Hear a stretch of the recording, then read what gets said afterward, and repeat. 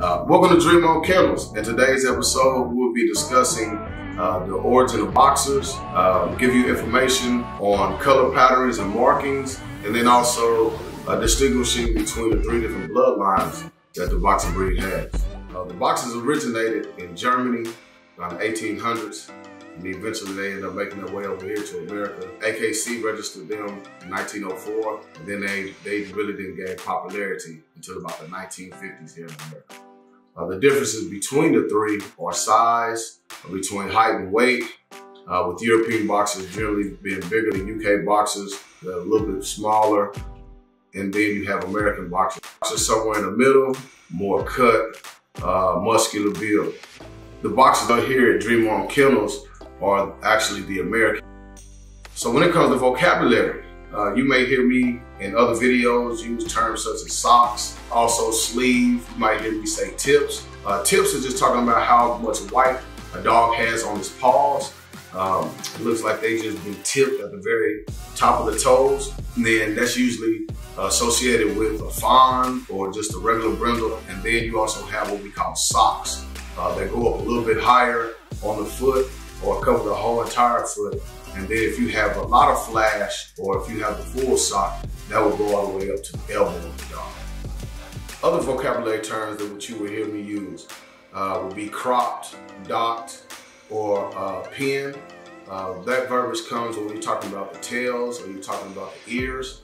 Um, when it comes to cropping or docking tails or ears, I believe that it's a preference. A lot of people like to clip the ears for dog shows, things of that nature. Um, me particularly, I don't like to cut the ears. I do dock the tails, but I leave the, the, ears alone just because I try to stay away from the very, very aggressive look or possibly a look that another breed that looks similar to a boxer has. So to differentiate itself in our kennels, um, we keep our ears on our boxers. Here are the five boxer styles in no particular order. Number one, so let's talk about the different categories of boxers. The first category we have will be fawn. Uh, fawn means that uh, the boxer is going to have a predominantly black mask and limited markings when it comes to white on the chest or the face or feet. Number two. So brindle actually means stripe. Um, so with a brindle boxer, you have the stripe pattern, and then you can have just a brindle itself, and then you can add the markings of semi-flashy and flashy, which will give it more white in the face, neck, and the paw areas. Number three. Next up, gonna talk about reverse brindles.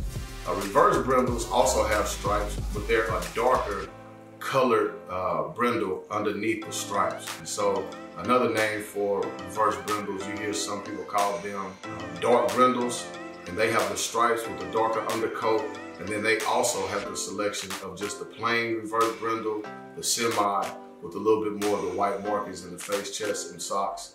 And then you also have flashy boxer, which will have a lot more of the white markings uh, in the chest, neck area, and the face, as well as the socks. Number four. So fourth on the list will be the white boxer.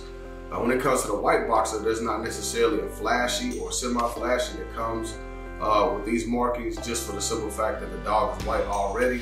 And so the two variations of the white boxer would be what they call parti color, where you have blotches over the body and face, uh, or you have check, which will have one uh, spot or blotch on the body, or the one that people people really like is the blotch that is that covers one of the eyes. Number five. Last on the list are the seal boxers.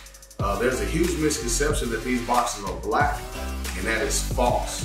Uh, when it comes to seal boxers, uh, they are actually boxers uh, who have stripes that are so thick and so close together that you cannot see the undercolor of the dog. And because of that, it gives off a shiny coat that looks black. Um, seal boxers also have a semi-flashy and a flashy um, coat that goes with them. And so it will look black, but it's not. But you have a well-striped boxer with limited white, or you have a well-striped boxer with a lot of white. And uh, they are beautiful dogs just as well. All right, so that'll do it. Thank you for watching. Uh, go ahead and jump in those comments for us and, and tell us a couple of things about what pattern of dog you like in boxers, uh, what style you prefer. Um, if you like to dock ears, if you like to dock tails, uh, what your preference is on that. And we can start a dialogue through the comments. Uh, we appreciate you joining us for another episode of DreamOn Kennels. And until next time, see you later.